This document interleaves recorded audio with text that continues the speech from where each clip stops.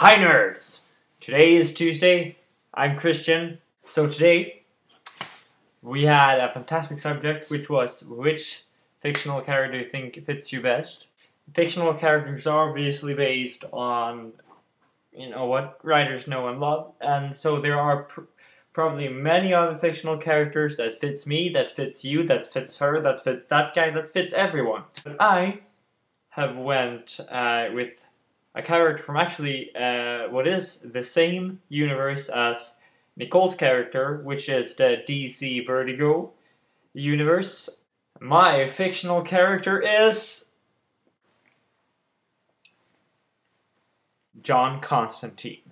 He has crossed paths with the dear Mr. Sandman many times before.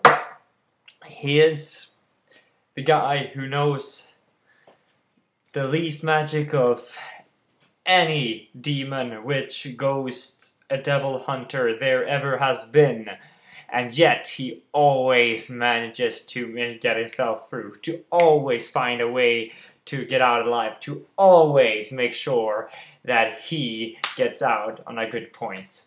I see myself as young Constantine because I go in and wing everything. I wing it because I don't really know what the hell I'm doing, and somehow, by some outwardly force, I manage to do something that is at least okay enough to not get me killed, at least. Or fired, or hated by everyone and I and I, same with John Constantine. I have a hard time dealing with people at the same time as I can be quite the charming guy when I try.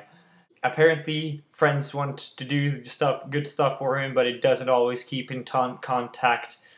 And well, he has been at the game for a long time, which I haven't. But still, I'm working on that too because well, he's 30, I'm 21, so you know kinda has shut.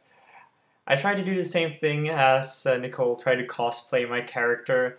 Uh, I hope Robert and Luciano and um, Katharina will do that as well because it would be really cool to see. Anyway, guys, exciting stuff happening! Exciting stuff with production company and films happening. So, yeah. Until next nerd. Don't forget to be awesome.